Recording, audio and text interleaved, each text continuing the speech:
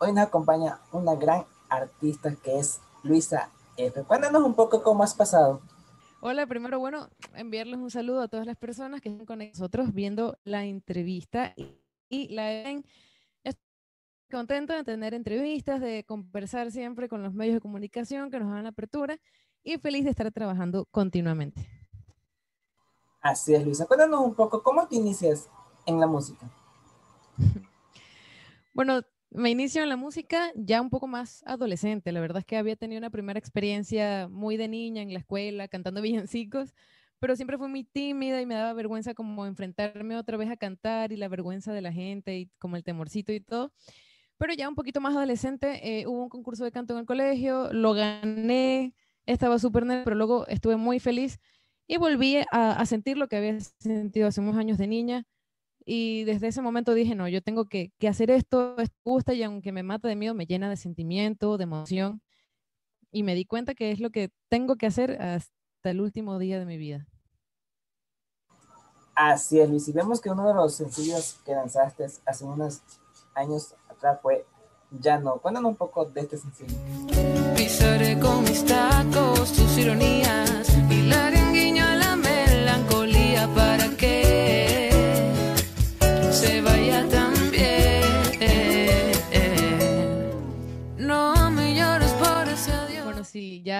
fue mi primer sencillo.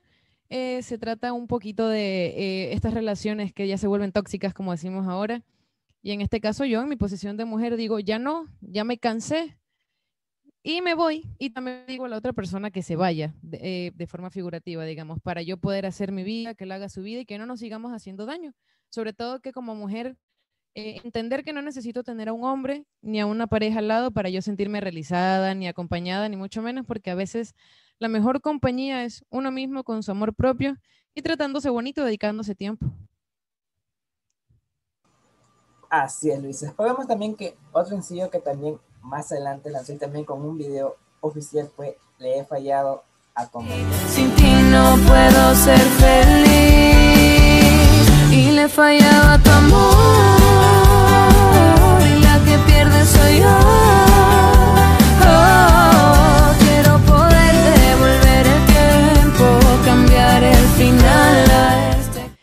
Bueno, de Le he fallado a tu amor me encanta porque me costó muchísimo escribir esa letra, la escribí de una experiencia personal y la letra, eh, perdón, la canción iba a ser cantada a dúo, entonces estaba escrita a dúo, luego me tocó transformarla porque el dúo no se pudo hacer, entonces la letra tuvo bastantes variaciones en general, pero eh, cada variación la hice con todo mi amor, con todo mi corazón, con toda mi dedicación, para que tuviera el, el sentimiento que merece, digamos así porque em, entiendo que las personas iban a sentir identificadas con lo que yo sentía en ese momento.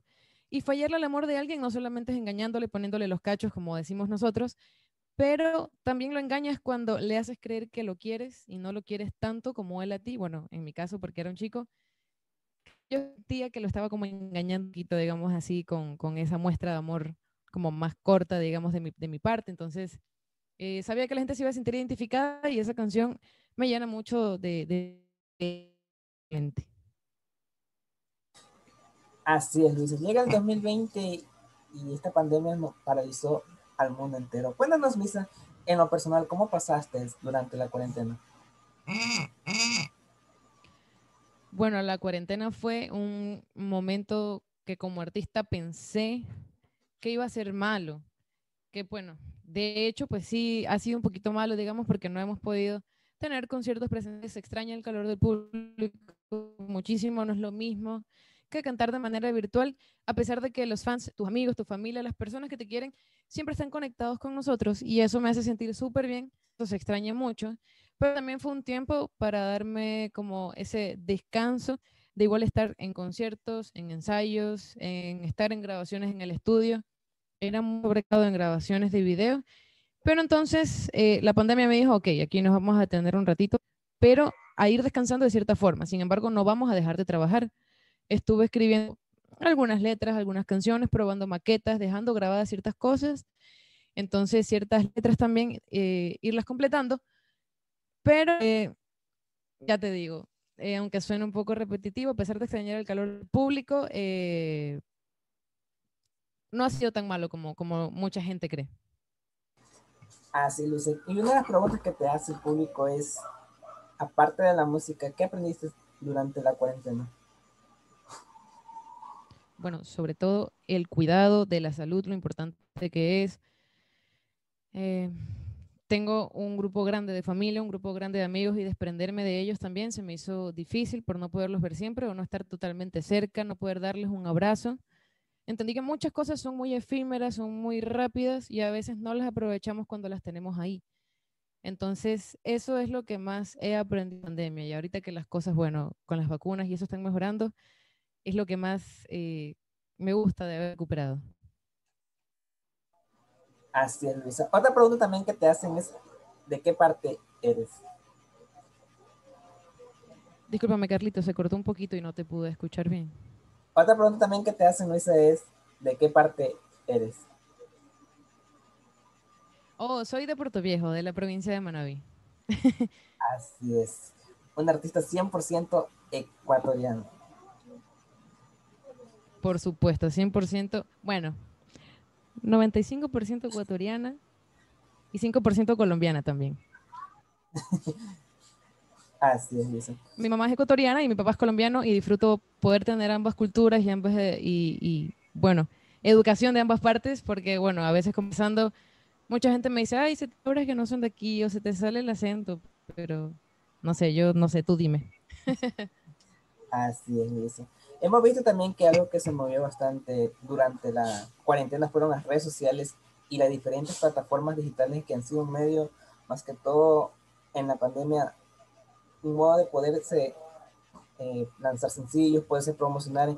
Cuéntanos, Luisa, ¿cómo has visto estas entrevistas que hoy en día se están dando, ya sea por la plataforma que estábamos, por Facebook, Instagram, YouTube? ¿Cómo has visto estas entrevistas online?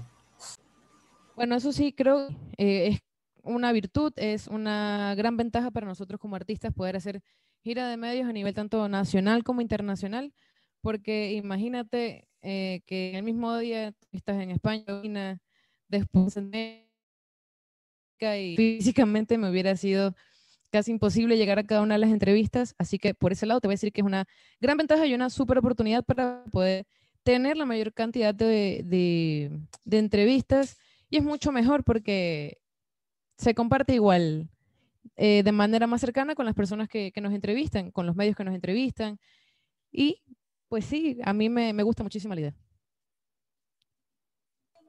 Así, Luisa. También vemos que otra aplicación que también se ha hecho bastante viral, aunque ya tiene su tiempo, es TikTok. Cuéntanos, Luisa, ¿has descargado esta aplicación? ¿Ha hecho contenido o harías contenido más adelante?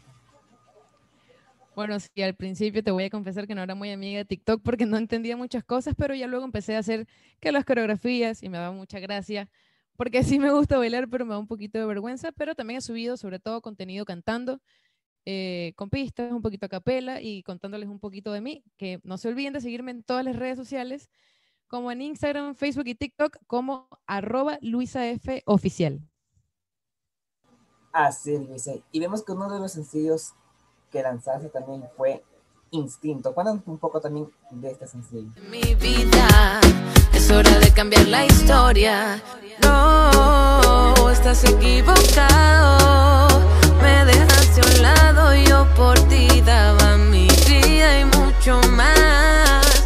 Ya se te acabó la Bueno, Instinto fue el último sencillo que hicimos con mi equipo de trabajo, eh, producido y, y escrito por mi manager Kevin Rosado. Ese sencillo salió apenas comenzó la pandemia y creí que iba a ser muy difícil, pero fue una súper ventaja para nosotros porque al momento de lanzarlo en tanto en las plataformas de, escucha como en YouTube, que bueno, se puede ver el video y todo, tuvimos mucha acogida. El primer día tuvimos más de 2.000 o 3.000 visitas, creo que ya está cerca de las 18.000. Y bueno, ha sido una súper sorpresa porque gracias a Instinto he podido viajar eh, a través del, del, mundo y ha sido increíble también, como tú decías, a través de las, de las entrevistas con las plataformas virtuales. Y me he sentido muy acogida con, con este tema, ha sido maravilloso poder presentarlo. Y es una canción que hicimos eh, para expresar ese sexto sentido que tenemos las mujeres, para demostrar que nosotros sabemos si nos están engañando o no, ustedes los hombres, que a veces hacen, a veces hacen las cosas mal y los descubrimos. Pero bueno, Eh, creo que es algo que nos ha pasado a todos. Me encanta escribir las canciones en base a cosas que la gente se pueda sentir identificada conmigo. Creo que eso es lo más importante. Así es, Luisa. Vemos que también lo lanzaron con un video oficial. Cuéntanos, Luisa, ¿cómo fue hacer el video oficial de Instinto? Bueno, hacer el video oficial fue increíble, aunque bueno, fue un poquito complicado, porque tuve varias propuestas de escenografía, digamos. Se me presentaron varias ideas, pero cuando dieron esta idea un poquito más vintage, la idea del video, el peinado, el maquillaje, todo, me encantó mucho. Fui parte de la preparación de mi personaje como tal para el video. Eso me encanta. Lo trabajé con gente que quiero muchísimo y que es talentosa. Y nos demoramos, nos tomamos su tiempo, nos tomamos el tiempo eh, necesario como el producto que pueden ver ahora en YouTube, disfrutarlo. Y un dato importante es que lo terminamos de grabar como una semana antes más o menos de que empezara la pandemia, así que ya estábamos un poquito corriendo para que no tuviéramos problemas luego y bueno, el resultado ya lo pueden ver. ¿Nos podrías contar también una anécdota que ya pasó durante la grabación del video de Instinto? Hay una anécdota que, bueno, en ese momento me hizo ver mucho coraje porque me complicó un poco las cosas, porque como ya estábamos un poco cortos de tiempo, un día que necesitaba grabar en el ambiente, al aire libre, que puedes ver la escena del, del, auto, necesitaba que hiciera mucho sol y en realidad no hizo nada de sol. De hecho, tuve que grabar esa escena dos días porque la primera vez que fui estaba lloviendo. Entonces yo no pude grabar porque la idea era un día soleado y todo esto, pero, pero bueno, son cosas que pasan y siempre digo que las cosas pasan por algo. Quizás ese día no era y, y ya, simplemente. Así es, Luisa. ¿Nos podías cantar un poquito de instinto? Claro que sí, un poquito del coro para todas las personas que nos acompañan en la entrevista. Y mírame, dime que mi instinto falla, dime que no soy la otra, que no buscas a alguien más. Y mírame, Dime que mi instinto falla, que si solo hoy te quedas, te mereces eso y más.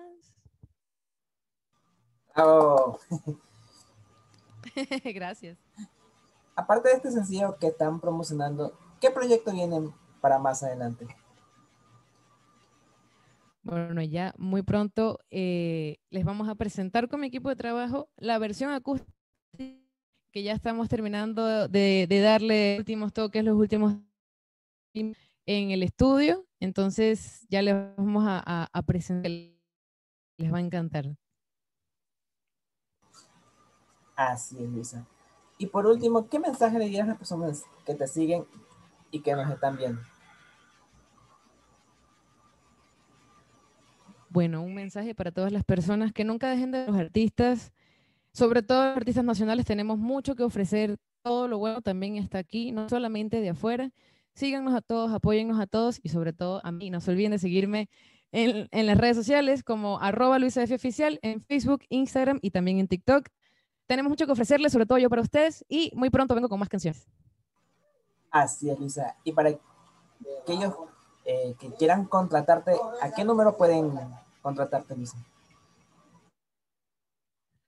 Bueno, eh, hay un número de contacto y un correo de contacto que se encuentra en mis redes sociales. Eh, cuando me busquen, ahí va a estar. No hay problema, es el número de, mi manager, de Kevin Rosado, son los correos y los contactos.